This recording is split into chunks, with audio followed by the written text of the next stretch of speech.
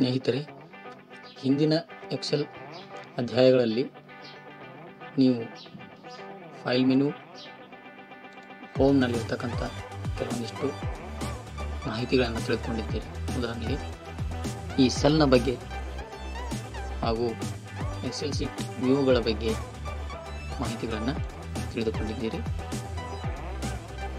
ಇವತ್ತಿನ ಅಧ್ಯಾಯದಲ್ಲಿ ಈ ಮುಂದುವರೆದಂಥ ಭಾಗಗಳನ್ನು ಹೇಗೆ ಬಳಕೆ ಮಾಡಿಕೊಳ್ಳುವುದು? ಅವುಗಳನ್ನು ಒಂದು ಫಾರ್ಮೆಟ್ ಹಾಕುವುದರ ಮೂಲಕ ನಾನು ನಿಮಗೆ ತಿಳಿಸಿಕೊಡುತ್ತೇನೆ. ಉದಾಹರಣೆಗೆ, ಇಲ್ಲಿ ಒಂದು ಐದನೇ ತರಗತಿ ಅಂಕಪಟ್ಟಿ ಎನ್ನುವ ಒಂದು ಫಾರ್ಮೆಟ್ ಪಿ ಡಿ ಎಫ್ ರೂಪದಲ್ಲಿದ್ದು, ಇದನ್ನು ಎಕ್ಸೆಲ್ ಶೀಟ್ನಲ್ಲಿ ಹೇಗೆ ತಯಾರಿಸಬಹುದು ಎನ್ನುವುದನ್ನು ಈ ವಿಡಿಯೋದಲ್ಲಿ ನಿಮಗೆ ತೋರಿಸಿಕೊಡುತ್ತಾ, ಮುಂದಿನ ಈ ಎಕ್ಸೆಲ್ನ ಮುಂದುವರಿದ ಆಪ್ಷನ್ಗಳನ್ನು ಹೇಗೆ ಬಳಕೆ ಮಾಡಿಕೊಳ್ಳುವುದು, ಹೇಗೆ ಬಳಸುವುದು ಎನ್ನುವುದನ್ನು ತಿಳಿಸಿಕೊಡುತ್ತೇನೆ ಈ ಫಾರ್ಮೆಟ್ನಲ್ಲಿ ಐದನೇ ತರಗತಿ ಅಂಕಪಟ್ಟಿ, ಶಾಲೆ ಹೆಸರು, ವಿದ್ಯಾರ್ಥಿ ಹೆಸರು, ಜನ್ಮ ದಿನಾಂಕ, ಜಾತಿ ಎಸ್ ಟಿ ಎಸ್ ನಂಬರ್ ವಿಷಯಗಳು, ಪಡೆದ ಅಂಕ, ಗರಿಷ್ಠ ಅಂಕ ಭಾವಬೋಧ ಈ ರೀತಿಯಾಗಿ ಆಲ್ರೆಡಿ ಒಂದು ರೆಡಿ ಫಾರ್ಮೆಟ್ ಇದ್ದು ಇದನ್ನು ಹೇಗೆ ತಯಾರಿಸುವುದು ಎನ್ನುವುದನ್ನು ಇವತ್ತಿನ ವಿಡಿಯೋದಲ್ಲಿ ತಿಳಿಸಿಕೊಡುತ್ತೇನೆ ಈ ವಿಡಿಯೋವನ್ನು ಎಲ್ಲಿಯೂ ಕೂಡ ಸ್ಕಿಪ್ ಮಾಡದೆ ಸಂಪೂರ್ಣವಾಗಿ ನೋಡಿ ಎಕ್ಸೆಲ್ ಶೀಟ್ನಲ್ಲಿ ಫಾರ್ಮೆಟನ್ನು ತಯಾರಿಸುವುದನ್ನು ತಿಳಿದುಕೊಳ್ಳಿ. ಯಾವುದಾದ್ರೂ ಒಂದು ಫಾರ್ಮೆಟನ್ನು ರೆಡಿ ಮಾಡೋದಕ್ಕಿಂತ ಪೂರ್ವದೊಳಗೆ ಒಂದು ಪೇಜನ್ನು ಸೆಟ್ ಮಾಡಿಕೊಳ್ಳಬೇಕಾಗುತ್ತದೆ. ಉದಾಹರಣೆಗೆ, ಇಲ್ಲಿ ಹೋಮ್ ಇನ್ಸರ್ಟ್ ಪೇಜ್ ಲೇಔಟ್ ಎನ್ನುವ ಆಪ್ಷನ್ಗಳಿದ್ದು ಪೇಜ್ ಲೇಔಟ್ ಆಪ್ಷನ್ಗೆ ಹೋಗಿ ಅಲ್ಲಿ ನೀವು ಎ ಫೋರ್ ಸೈಜ್ ತೆಗೆದುಕೊಳ್ಳಬೇಕು. ತೆಗೆದುಕೊಂಡ ನಂತರ ಅದನ್ನು ಪೋರ್ಟ್ರೇಟ್ ಅಥವಾ ಲ್ಯಾಂಡ್ಸ್ಕೇಪ್ನಲ್ಲಿ ನಿಮಗೆ ಹೇಗೆ ಬೇಕೋ ಹಾಗೆ ನಾನು ಪೋರ್ಟ್ರೇಟ್ನಲ್ಲಿ ಈ ಫಾರ್ಮೆಟ್ ಅಷ್ಟೊಂದು ಸರಿಯಾಗಿ ಬರುವುದಿಲ್ಲ. ಆದ ಕಾರಣ ಲ್ಯಾಂಡ್ಸ್ಕೇಪ್ನಲ್ಲಿ ಈ ಫಾರ್ಮೆಟನ್ನು ಹಾಕೋದನ್ನು ನಾನು ನಿಮಗೆ ತಿಳಿಸಿಕೊಡುತ್ತೇನೆ. ಲ್ಯಾಂಡ್ಸ್ಕೇಪ್ ಸೆಲೆಕ್ಟ್ ಮಾಡಿಕೊಳ್ಳಬೇಕು. ಗಮನಿಸಿ, ನಾವು ಓರಿಯೆಂಟೇಷನ್ ಸೈಜನ್ನು ಸೆಲೆಕ್ಟ್ ಮಾಡಿದ ನಂತರ ನಮಗಿಲ್ಲಿ ಡಾಟ್ ಡಾಟ್ ಎನ್ನುವ ಮಾರ್ಕ್ ಕಾಣುತ್ತಿದ್ದು, ಇದು ನಮ್ಮ ಎ ಫೋರ್ ಸೀಟ್ನ ಕೊನೆಯ ಭಾಗ ಅಥವಾ ಆ ಪೇಪರ್ನ ಕೊನೆಯ ಭಾಗವನ್ನು ಇಲ್ಲಿ ನೋಡ್ತಾ ಇದ್ದೀವಿ. ಈಗ ಮೊದಲನೇ ಸಾಲಿನಲ್ಲಿ ಅಂಕಪಟ್ಟಿ ಎಂದು ನಾವು ಬರೆಯಬೇಕು. ಅಂದಾದರೆ ನಾವು ಬರೆಯಲು ಹೋದರೆ ಅದು ಇಂಗ್ಲೀಷ್ನಲ್ಲಿ ಮೂಡ್ತಾ ಇದೆ. ಕನ್ನಡದಲ್ಲಿ ಮೂಡಬೇಕೆಂದರೆ ಏನು ಮಾಡಬೇಕು? ಕನ್ನಡದಲ್ಲಿ ಮೂಡಬೇಕೆಂದರೆ ನಾವು ಇಲ್ಲಿ ನಮ್ಮ ಕಂಪ್ಯೂಟರ್ನಲ್ಲಿ ನುಡಿ ಎನ್ನುವ ಸಾಫ್ಟ್ವೇರನ್ನು ನಾವು ಇನ್ಸ್ಟಾಲ್ ಮಾಡಿಟ್ಟುಕೊಂಡಿರಬೇಕು. ಆ ನುಡಿ ಸಾಫ್ಟ್ವೇರನ್ನು ಓಪನ್ ಮಾಡಬೇಕು. ಓಪನ್ ಮಾಡಿದ ನಂತರ ಆ ನುಡಿ ಸಾಫ್ಟ್ವೇರ್ ಇಲ್ಲಿ ಕೆಳಗಡೆ ಬಂದಿರುತ್ತದೆ. ಅದರಲ್ಲಿ ಏಕ ಭಾಷೆ ಇದು ರೈಟ್ ಆಗಿರಬೇಕು. ನಂತರ ಇಲ್ಲಿ ಹೋಮ್ ರಿಬ್ಬನ್ನಲ್ಲಿ ನಾವು ಇಲ್ಲಿ ನಮ್ಮ ಯಾವ ಭಾಷೆಯಲ್ಲಿ ನಾವು ಟೈಪ್ ಮಾಡಬೇಕು, ಆ ಭಾಷೆಯನ್ನು ಸೆಲೆಕ್ಟ್ ಮಾಡಬೇಕು. ನುಡಿಯ ನುಡಿ ಜೀರೋ ಒನ್ ಇ ಎಂದು ತೋರಿಸ್ತಾ ಇದೆ. ಸಾಮಾನ್ಯವಾಗಿ ಇದರಲ್ಲಿ ಪಾಂಟ್ ಸೈಜ್, ಇದನ್ನು ಪಾಂಟ್ ಸೈಜ್ ಎಂದು ಹೇಳ್ತೇವೆ. ಈ ಪಾಂಟ್ ಸೈಜನ್ನು ನಾವು ಹನ್ನೆರಡು ಇಟ್ಟುಕೊಂಡ್ರೆ ಒಳ್ಳೆಯದು. ನಂತರ ನಾನಿಲ್ಲಿ ನಿಮಗೆ ಅಂಕಪಟ್ಟಿ ಹಾಂ ಗಮನಿಸಿ ಎಕ್ಸೆಲ್ ಸೀಟ್ನಲ್ಲಿ ನಾವು ಈ ನುಡಿ ಅಕ್ಷರವನ್ನು ಸೆಲೆಕ್ಟ್ ಮಾಡಿಕೊಳ್ಳುವ ಪೂರ್ವದಲ್ಲಿ ನಾವು ಇಡೀ ಎಕ್ಸೆಲ್ ಸೀಟನ್ನು ಇಲ್ಲಿ ಸೆಲೆಕ್ಟ್ ಮಾಡಿಕೊಳ್ಳಬೇಕು. ಸೆಲೆಕ್ಟ್ ಮಾಡಿಕೊಂಡ ನಂತರ ನಾವು ನುಡಿಯನ್ನು ಸೆಲೆಕ್ಟ್ ಮಾಡಿಕೊಳ್ಳದಿದ್ದರೆ ಅದು ಪ್ರತಿ ಸಾರಿ ನುಡಿಯನ್ನು ಸೆಲೆಕ್ಟ್ ಮಾಡಿಕೊಳ್ಳಬೇಕಾಗುತ್ತದೆ. ನೀವು ಬೇರೆ ಸೆಲ್ನಲ್ಲಿ ಕ್ಲಿಕ್ ಮಾಡಿ ಮತ್ತು ನಮಗೆ ಬೇಕಾದ ಸೆಲ್ನಲ್ಲಿ ಬಂದಾಗ ಆ ಪ್ರತಿ ಸಾರಿ ನುಡಿಯನ್ನು ಸೆಲೆಕ್ಟ್ ಮಾಡಿಕೊಳ್ಳಬೇಕಾಗುತ್ತದೆ. ಆದ್ದರಿಂದ ನೀವು ಇಲ್ಲಿ ಪೇಜನ್ನು ಸೆಲೆಕ್ಟ್ ಮಾಡಿಕೊಂಡು ನುಡಿಯನ್ನು ಸೆಲೆಕ್ಟ್ ಮಾಡಿಕೊಂಡರೆ ಪದೇ ಪದೇ ನುಡಿಯನ್ನು ಸೆಲೆಕ್ಟ್ ಮಾಡಿಕೊಳ್ಳುವ ಅವಶ್ಯಕತೆ ಬೀಳುವುದಿಲ್ಲ. ಈಗ ಈ ಪೇಜ್ನಲ್ಲಿರ್ತಕ್ಕಂಥ ಕಾಲಮ್ಗಳನ್ನು ಏನೂ ಮಾಡಬಾರದು. ಅದನ್ನು ಈ ಫಾರ್ಮೆಟ್ ರೆಡಿಯಾಗುವ ಕೊನೆ ಹಂತದಲ್ಲಿ ನಾವು ಮಾಡಬೇಕಾಗುತ್ತದೆ. ಎರಡನೇ ಸಾಲಿನಲ್ಲಿ ಶಾಲೆಯ ಹೆಸರು. ಮೂರನೇ ಸಾಲಿನಲ್ಲಿ ವಿದ್ಯಾರ್ಥಿಯ ಹೆಸರು? ನಾಲ್ಕನೇ ಸಾಲಿನಲ್ಲಿ ಜನ್ಮ ದಿನಾಂಕ? ಐದನೇ ಸಾಲದಲ್ಲಿ ವಿಷಯ? ಈಗ ಇಷ್ಟು ಮಾಹಿತಿಗಳು ಸಾಕು. ಇಲ್ಲಿ ನಮಗೆ ಈ ಅಕ್ಷರಗಳು ಚಿಕ್ಕದಾಗಿ ಕಾಣುತ್ತಿರುವುದರಿಂದ ದೊಡ್ಡದಾಗಿ ಕಾಣಬೇಕೆಂದರೆ ಹಿಂದಿನ ಅಧ್ಯಾಯದಲ್ಲಿ ತಿಳಿಸಿಕೊಟ್ಟಿದ್ದೇನೆ. ಇಲ್ಲಿ ಜೂಮ್ ಇನ್ ಮಾಡಿಕೊಳ್ಳಬೇಕಾಗುತ್ತದೆ. ಗಮನಿಸಿ, ಜೂಮ್ ಇನ್ ಮಾಡಿಕೊಂಡಾಗ ನಮ್ಮ ಅಕ್ಷರಗಳು ದೊಡ್ಡದಾಗಿ ಕಾಣುತ್ತಿವೆ. ಅಕ್ಷರಗಳಲ್ಲಿ ಏನಾದರೂ ತಪ್ಪುಗಳಾಗಿವೆಯೇ ಎಂಬುದನ್ನು ನಾವು ಆಗಾಗ ಪರೀಕ್ಷಿಸುತ್ತಿರಬೇಕು. ಇಲ್ಲಿ ನೋಡಿ. ನಮಗೆ ವಿಷಯದ ಮುಂದು ಮುಂದಿನ ಕಾಲಂನಲ್ಲಿ ಕನ್ನಡ ವಿಷಯವನ್ನು, ಅದರ ಮುಂದಿನ ಕಾಲಂನಲ್ಲಿ ಇಂಗ್ಲೀಷ್ ಅದರ ಮುಂದಿನ ಕಾಲಂನಲ್ಲಿ ಗಣಿತ. ಅದರ ಮುಂದಿನ ಕಾಲಂನಲ್ಲಿ ಪರಿಸರ ಅಧ್ಯಯನ. ನಾನು ಶಾರ್ಟ್ ಫಾರ್ಮ್ನಲ್ಲಿ ಬರೆದಿದ್ದೇನೆ. ನೀವು ಬೇಕಾದರೆ ಪೂರ್ತಿಯಾಗಿ ಬರೆದುಕೊಳ್ಳಬಹುದು. ಒಟ್ಟು ಇಷ್ಟು ಕನಿಷ್ಠ ನಮಗೆ ಎ ಪಾರ್ಟ್ನ ವಿಷಯಗಳಿಗೆ ಕಾಲಮ್ಗಳು ಬೇಕು ಅದರ ಮುಂದಿನ ಭಾಗದಲ್ಲಿ ನಾವು ಭ ವಿಭಾಗ ಅಥವಾ ಬಿ ಪಾರ್ಟ್ ಎಂದು ಬರೆದುಕೊಳ್ಳೋಣ. ಬರೆದುಕೊಂಡ ನಂತರ ಈ ಬಿ ಪಾರ್ಟ್ನಲ್ಲಿರ್ತಕ್ಕಂಥ ಸಬ್ಜೆಕ್ಟ್ಗಳನ್ನು ಕೂಡ ಇಲ್ಲಿ ಬರೆದುಕೊಳ್ಳೋಣ. ಇಲ್ಲಿ ಇದನ್ನು ಸಹಿತ ಜೂಮ್ ಇನ್ ಮಾಡಿಕೊಳ್ಳೋಣ. ಭಾವನಾತ್ಮಕ ಕೌಶಲ್ಯಗಳು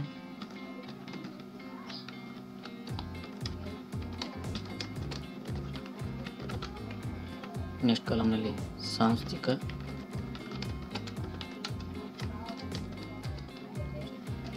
ಮೌಲ್ಯಗಳು. ಇವು ಬಿ ಪಾರ್ಟ್ನ ಸಬ್ಜೆಕ್ಟ್ಗಳು. ಅದರ ಮುಂದಿನ ಕಾಲಮ್ನಲ್ಲಿ ಫಲಿತಾಂಶ ಎಂದು ಬರೆದಿಟ್ಟುಕೊಳ್ಳೋಣ.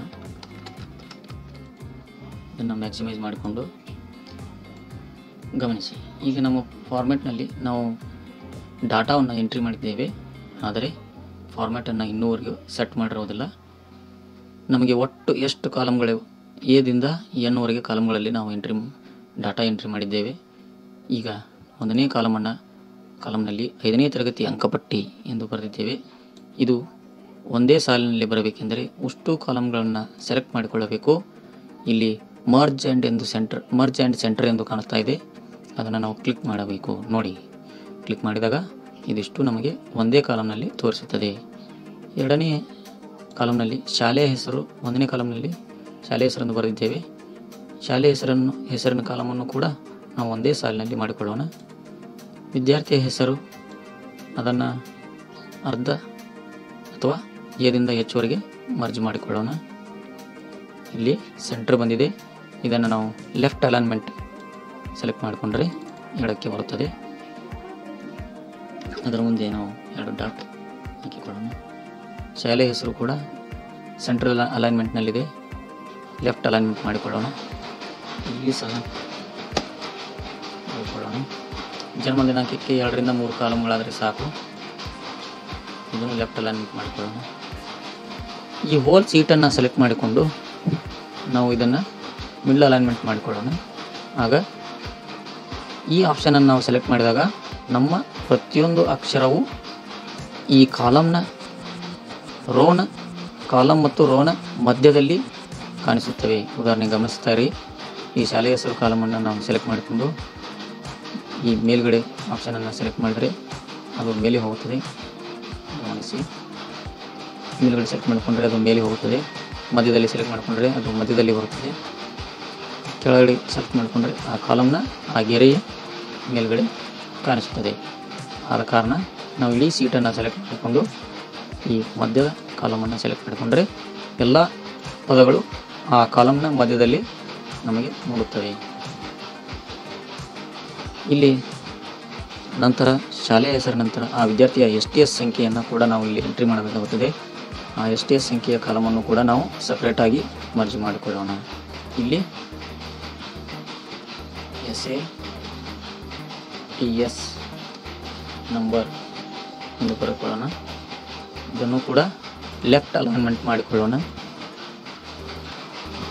ಈ ಜನ್ಮ ದಿನಾಂಕದ ನಂತರ ನಾವು ಜನ್ಮ ದಿನಾಂಕಕ್ಕೆ ನಾವು ಒಂದು ಎ ಡಿದೊಳಗೆ ನಾಲ್ಕು ಕಾಲಮ್ಗಳನ್ನು ಮರ್ಜ್ ಮಾಡಿಕೊಳ್ಳೋಣ. ನಂತರ ಇಲ್ಲಿ ಜಾತಿ, ಜಾತಿಯನ್ನು ಬರೆಯುವುದಕ್ಕಾಗಿ ನಾವು ಈ ಕಾಲಮನ್ನು ಕೂಡ ಮರ್ಜ್ ಮಾಡಿಕೊಳ್ಳೋಣ. ಜಾತಿ ಬೇಡ. ಜಾತಿಗಾಗಿ ಕೇವಲ ನಮಗೆ ನಾಲ್ಕರಿಂದ ಐದು ಕಾಲಮ್ಗಳಾದರೆ ಸಾಕು. ಅಷ್ಟನ್ನು ಮರ್ಜ್ ಮಾಡಿಕೊಳ್ಳೋಣ. ಇಲ್ಲಿ ಜನ್ಮ ದಿನಾಂಕವನ್ನು ಬರೆದಿಟ್ಟುಕೊಳ್ಳೋಣ. ಇಲ್ಲಿ ಜಾತಿ. ಇಲ್ಲಿ ಜನ್ಮ ದಿನಾಂಕ ಬೇಕಾದರೆ ಈ ಜನ್ಮ ದಿನಾಂಕ ಕಾಲಮ್ ಇಲ್ಲಿ ಬೇಡ. ಇದಕ್ಕಾಗಿಯೇ ಒಂದು ಬೇರೆ ಕಾಲಮನ್ನು ಸೆಲೆಕ್ಟ್ ಮಾಡಿಕೊಳ್ಳೋಣ. ಇಲ್ಲಿ. ಓ, ಜನ್ಮ ದಿನಾಂಕ ಕಾಲಮ್ ಇಲ್ಲಿದೆ. ಈ ಜಾತಿಯ ಕಾಲಮನ್ನು ನಾವು ಇಲ್ಲಿ ಇಲ್ಲಿ ಬೇಡ. ಇದರ ಪಕ್ಕದಲ್ಲಿ ಬರಬೇಕು ಏಕೆಂದರೆ ಜನ್ಮ ದಿನಾಂಕ ಬರೆಯಲು ನಮಗೆ ಎರಡರಿಂದ ಮೂರು ಕಾಲಂಗಳಾದರೆ ಸಾಕು. ಜನ್ಮ ದಿನಾಂಕಕ್ಕೆ ಕೇವಲ ಎರಡು ಕಾಲಂಗಳಾದರೆ ಸಾಕು. ಇದನ್ನು ಅಕ್ಷರದಲ್ಲಿ ಜನ್ಮ ದಿನಾಂಕ ಅಕ್ಷರದಲ್ಲಿ ಅಕ್ಷರದಲ್ಲಿ ಬರೆಯಲು.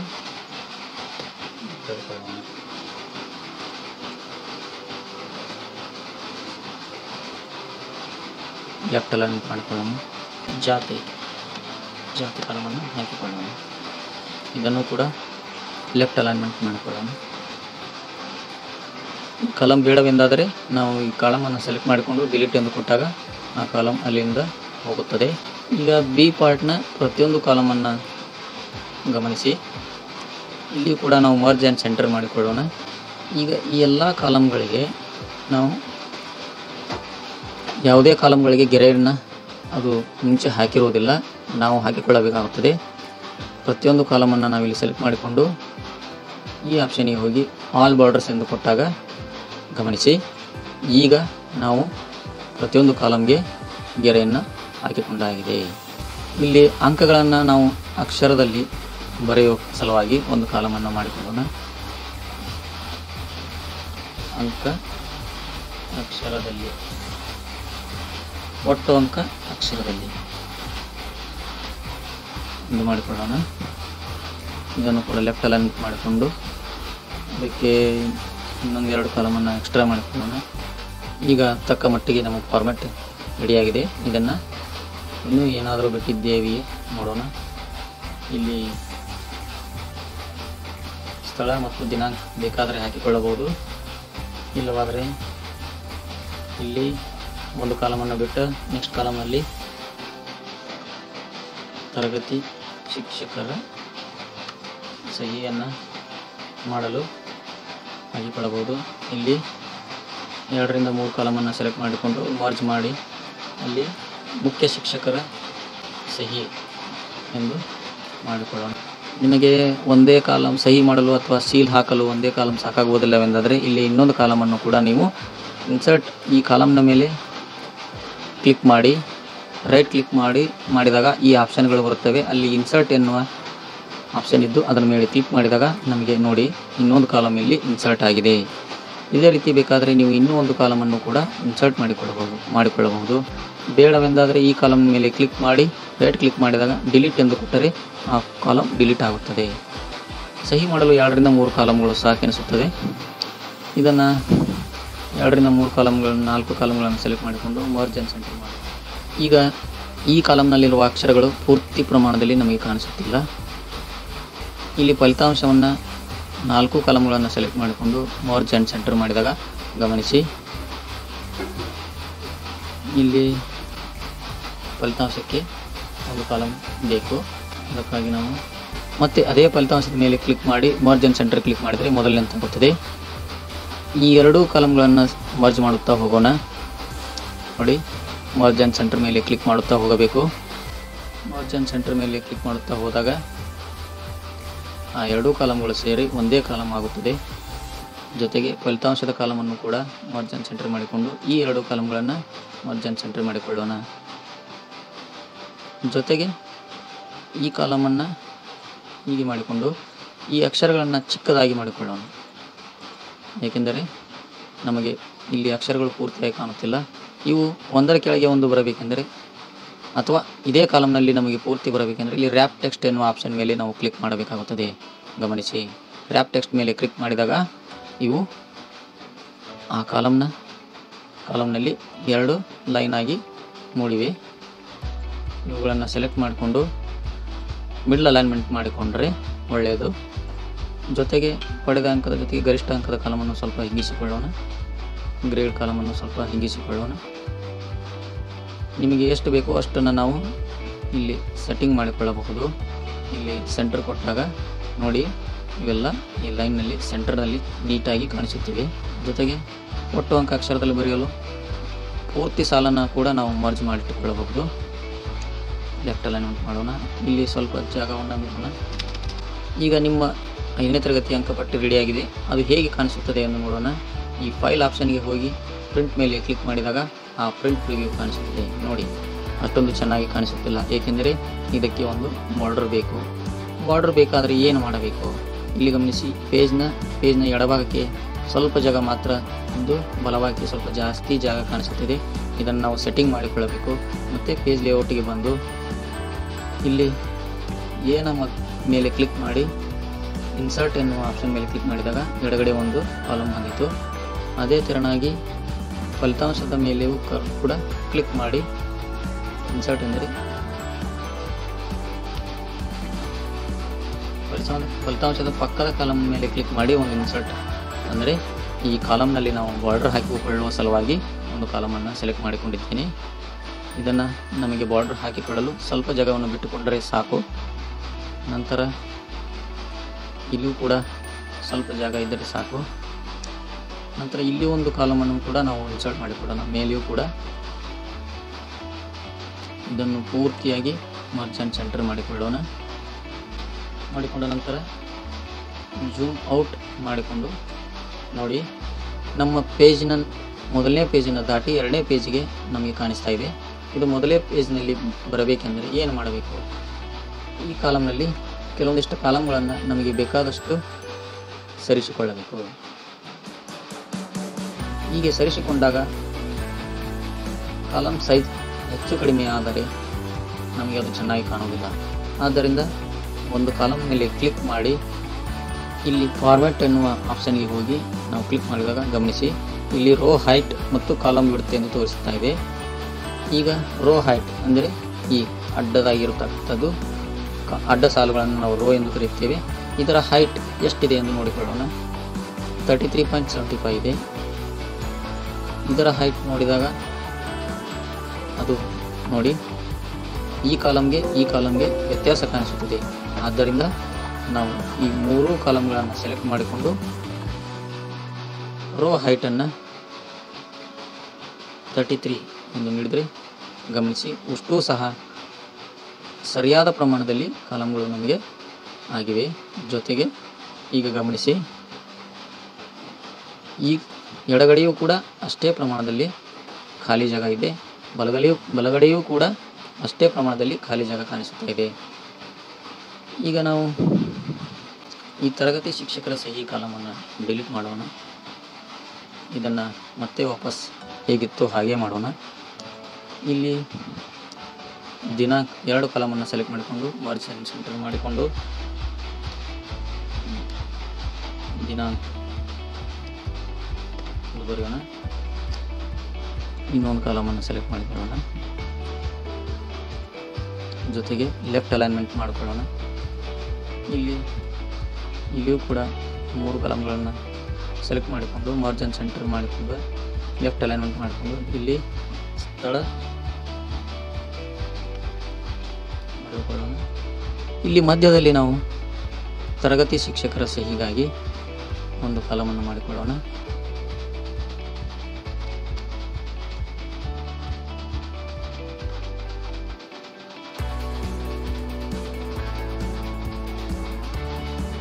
ಈಗ ಎ ಒನ್ ಕಾಲಮ್ನಿಂದ ಫಿಫ್ಟೀನ್ ರೋವರೆಗೆ ಫಿಫ್ಟೀನ್ ಪಿ ವರೆಗೆ ಎಲ್ಲ ಕಾಲಮನ್ನು ಸೆಲೆಕ್ಟ್ ಮಾಡಿಕೊಂಡು ಇಲ್ಲಿ ಕೇವಲ ಔಟ್ಸೈಡ್ ಬಾರ್ಡರ್ಸನ್ನು ಮಾತ್ರ ಹಾಕಿಕೊಳ್ಳೋಣ. ಹಾಕಿಕೊಂಡಾಗ ನೀವು ಮತ್ತೆ ಪ್ರಿಂಟ್ ಪ್ರಿವ್ಯೂಗೆ ಹೋದಾಗ ಗಮನಿಸಿ. ನೋಡಿ, ಈಗ ನಿಮ್ಮ ಒಂದು ಅಂಕಪಟ್ಟಿಗೆ ಒಂದು ಬಾರ್ಡರ್ ಮೂಡಿದೆ ಜೊತೆಗೆ ಇನ್ನೂ ಸಹ ಬಲಗಡೆ ಹೆಚ್ಚಿನ ಜಾಗವನ್ನು ಖಾಲಿ ಜಾಗ ತೋರಿಸ್ತಾ ಇದೆ. ಎಡಗಡೆ ಕಡಿಮೆ ಜಾಗ ತೋರಿಸ್ತಾ ಇದೆ. ಮತ್ತು ನೀವು ಪೇಜ್ ಲೇಔಟ್ಗೆ ಹೋಗಿ ಅಲ್ಲಿ ನೀವು ಕಾಲಮನ್ನು ಸ್ವಲ್ಪ ಪ್ರಮಾಣದಲ್ಲಿ ಹಿಗ್ಗಿಸಿಕೊಳ್ಳಬೇಕು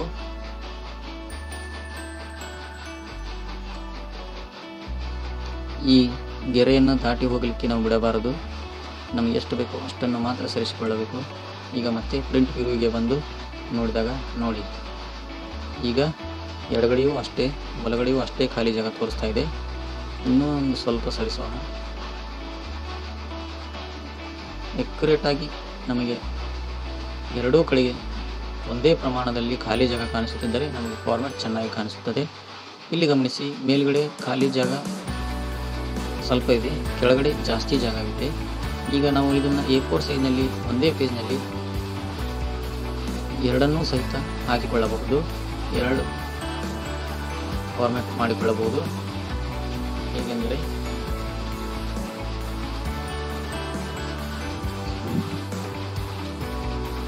ಈ ಕಾಲಮ್ನ ಈ ಅಡ್ಡ ರೋಣ ಪ್ರಮಾಣ, ಪ್ರಮಾಣವನ್ನು ನಾವಿಲ್ಲಿ ಇನ್ನೂ ಕಡಿಮೆ ಮಾಡಿಕೊಳ್ಳೋಣ. ರೋ ಹೈಟ್ ಈಗ ಮೂವತ್ತ್ಮೂರು ಇದೆ.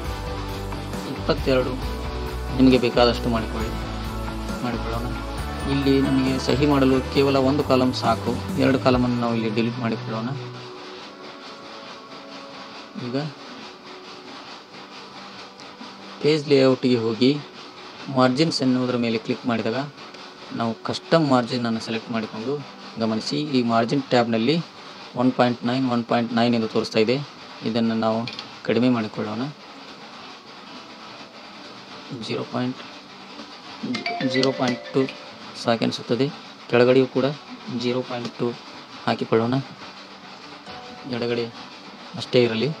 ಓಕೆ ಎಂದು ಕೊಟ್ಟಾಗ ನಿಮ್ಮ ನೋಡಿರಿ ಈಗ ಇಷ್ಟು ಕಾಲಮನ್ನು ನಾವು ಸೆಲೆಕ್ಟ್ ಮಾಡಿಕೊಂಡು ಕಂಟ್ರೋಲ್ ಸಿ ಅಂದರೆ ಕಾಪಿ ಮಾಡಿಕೊಂಡು ನಾವು ಇಲ್ಲಿ ಒಂದು ಸಾಲನ್ನು ಬಿಟ್ಟು ಎರಡನೇ ಸಾಲಿಗೆ ಇಟ್ಟು ಕರ್ಸರನ್ನು ಇಟ್ಟು ಕಂಟ್ರೋಲ್ ವಿ ಅಂದರೆ ಪೇಸ್ಟ್ ಮಾಡಿಕೊಂಡ್ರೆ ಗಮನಿಸಿ. ಈಗ ನಿಮ್ಮ ಎ ಫೋರ್ ಸೈಜ್ನಲ್ಲಿ ಒಂದೇ ಪೇಜ್ನಲ್ಲಿ ಎರಡು ಅಂಕಪಟ್ಟಿಗಳು ರೆಡಿಯಾಗಿವೆ ಇದನ್ನು ಪ್ರಿಂಟ್ ಪ್ರಿವ್ಯೂನಲ್ಲಿ ನೋಡೋಣ. ಹಾಂ, ನೋಡಿ. ಈಗ ನಿಮಗೆ ಕೆಳಗಡೆ, ಮೇಲುಗಡೆ ನೋಡಿದಾಗ ಇಲ್ಲಿ ಬೇಕಾದರೆ ನೀವು ಇನ್ನೂ ಒಂದು ಕಾಲಮನ್ನು ಎಕ್ಸ್ಟ್ರಾ ಮಾಡಿಕೊಳ್ಳಬಹುದು. ಈಗ ಪ್ರಿಂಟ್ ಪ್ರಿವ್ಯೂ ನೋಡಿ. ಸರಿಯಾಗಿದೆ. ಇದು ನೀವು ಪ್ರಿಂಟ್ ಮಾಡಲು ಹೋದಾಗ ಹೇಗೆ ಕಾಣಿಸ್ತದೆ ಅನ್ನೋದು ಇಲ್ಲಿ ನಿಮಗೆ ಕಾಣಿಸ್ತಾ ಇದೆ.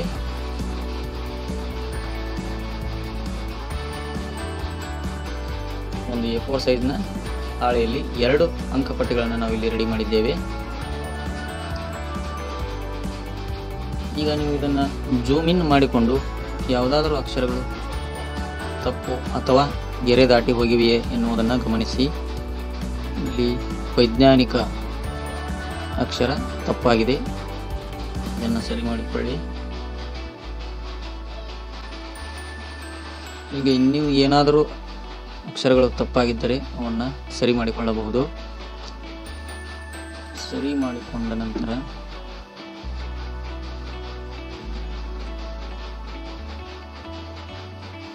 ಎಲ್ಲವೂ ಸರಿಯಾಗಿವೆ.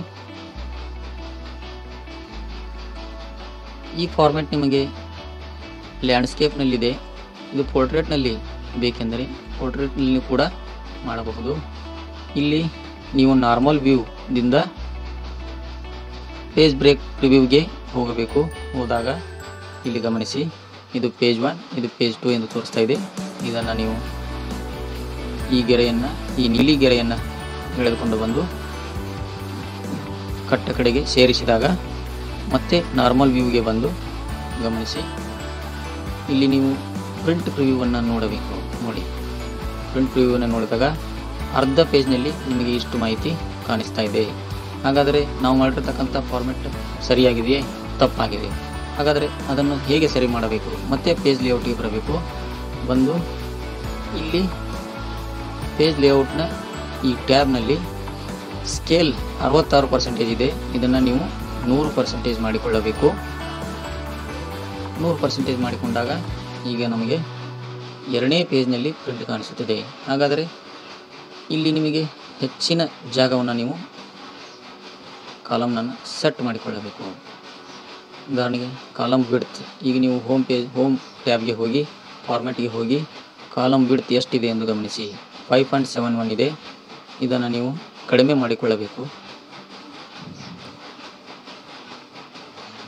ಈ ಇಷ್ಟು ಕಾಲಮ್ಗಳನ್ನು ಸೆಲೆಕ್ಟ್ ಮಾಡಿಕೊಂಡು ಕಾಲಮ್ ಬಿಡ್ತನ್ನು ಐದು ಹಾಕಿಕೊಂಡು ಓಕೆ ಕೊಟ್ಟಾಗ ಗಮನಿಸಿ. ಜೊತೆಗೆ ಈ ಕಾಲಮ್ಗಳನ್ನು ಕೂಡ ನೀವು ಕಡಿಮೆ ಮಾಡಿಕೊಳ್ಳಿ.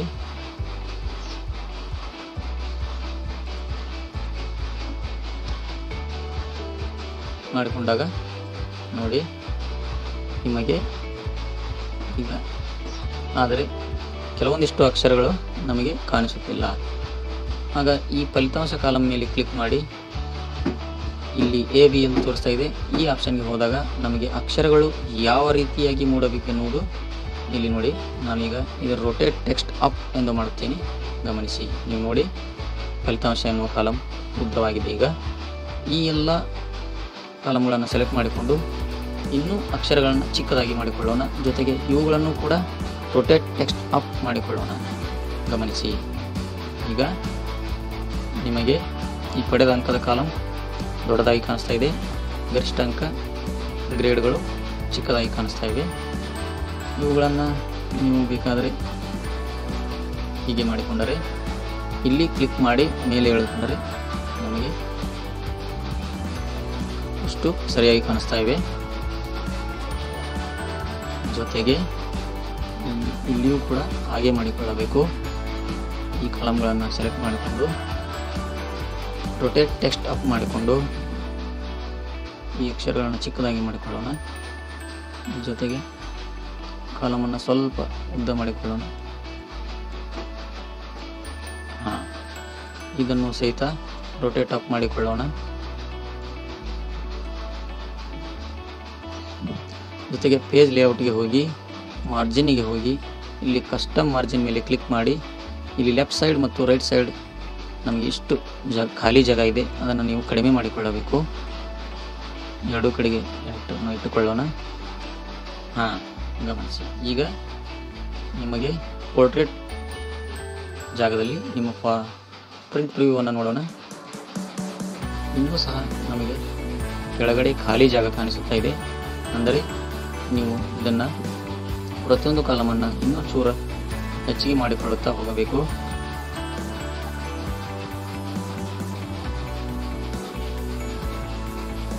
ಇವುಗಳೆಲ್ಲ, ಎಲ್ಲ ಕಾಲಮ್ಗಳು ಇಲ್ಲಿಂದ ಇಲ್ಲಿವರೆಗೆ ಒಂದೇ ಸೈಜ್ನಲ್ಲಿ ಇರಬೇಕಂತ ಅನಿಸಿದರೆ ಹೋಮ್ ಪೇಜ್ಗೆ ಹೋಗಿ ಅಲ್ಲಿ ಫಾರ್ಮೆಟ್ನಲ್ಲಿ ಕ್ಲಿಕ್ ಮಾಡಿ ರೋ ಹೈಟ್ ಎಷ್ಟು ಬೇಕು ಅಷ್ಟನ್ನು ನೀವು ಸೆಟ್ ಮಾಡಿಕೊಳ್ಳಬಹುದು. ನಾನು ಉದಾಹರಣೆಗೆ ಹದಿನೈದನ್ನು ಕೊಟ್ಟಿದ್ದೇನೆ. ನೋಡಿ ಚಿಕ್ಕದಾಗಿವೆ ನಮಗೆ ಹೆಚ್ಚಾಗಬೇಕಿದೆ. ನಾವು ಅದನ್ನು ಮೂವತ್ತು ಮಾಡಿಕೊಳ್ಳೋಣ. ಈಗ ನಿಮಗೆ ಇವು ಇಂಗ್ಲೀಷ್ ಅಕ್ಷರ ಪೂರ್ತಿಯಾಗಿ ಕಾಣಿಸುತ್ತಿಲ್ಲ. ಇವುಗಳನ್ನು ಕೂಡ ಸೆಲೆಕ್ಟ್ ಮಾಡಿಕೊಂಡು ಸ್ವಲ್ಪ ಕಡಿಮೆ ಮಾಡಿಕೊಳ್ಳೋಣ. ಈಗ ಕಾಣಿಸುತ್ತಿವೆ.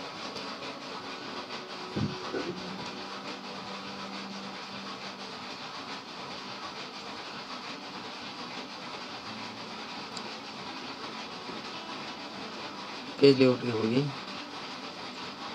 ಫೈಲ್ಗೆ ಹೋಗಿ ಪ್ರಿಂಟ್ ಪ್ರಿವ್ಯೂ ನೋಡೋಣ. ಈಗಲೂ ಸಹ ನಮಗೆ ಇನ್ನೂ ಇಲ್ಲಿ ಹೆಚ್ಚಿನ ಖಾಲಿ ಜಾಗ ಮೇಲೆ ಮತ್ತು ಕೆಳಗಡೆ ಕಾಣಿಸುತ್ತಿದೆ ನೀವು ಇಲ್ಲಿ ಇನ್ನೊಂದೆರಡು ಕಾಲಮ್ಗಳನ್ನು ಇನ್ಸರ್ಟ್ ಮಾಡಿಕೊಳ್ಳಿ.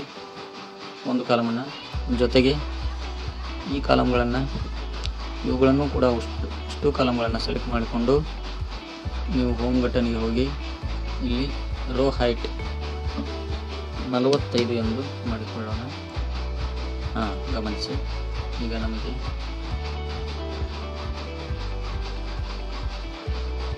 ಇನ್ನು ಈ ಕೆಳಗಿನಂತೂ ಕೂಡ ಈ ನಾಲ್ಕು ಕಾಲಮ್ಗಳನ್ನು ಸೆಲೆಕ್ಟ್ ಮಾಡಿಕೊಂಡು ಮೂವತ್ತು ಹಾಕಿಕೊಳ್ಳೋಣ. ಕೆಳಗಿನ ಮೂರು ಕಾಲಮ್ಗಳನ್ನು ನಲವತ್ತೈದು ಹಾಕಿಕೊಳ್ಳೋಣ. ಈ ಎರಡು ಕಾಲಮ್ಗಳನ್ನು ಸೆಲೆಕ್ಟ್ ಮಾಡಿಕೊಂಡು ಇಲ್ಲಿ ನಾಲ್ ಬಾರ್ಡರ್ ಹಾಕಿಕೊಡೋಣ ಇಲ್ಲಿ ಸಹಿತ.